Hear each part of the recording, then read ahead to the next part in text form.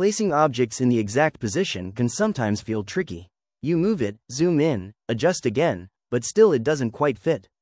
That's where Blender's snap feature saves time.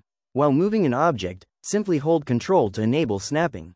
You'll notice the object locks onto nearby surfaces, making placement much more precise. If you want snapping to stay on permanently, you can activate it from the toolbar right here. Sometimes you need a very specific snapping point, not just the surface. To set one, press G to grab the object, then hit B and move your mouse. You'll see a small marker, click to confirm that point. Now, when you move the object, it snaps exactly from that chosen spot. For even finer adjustments, hold Shift while snapping to activate precision mode. This lets you move smoothly in smaller increments while still snapping. And that's it, no more endless nudging. With snapping, you can place objects perfectly where you want, quickly and accurately.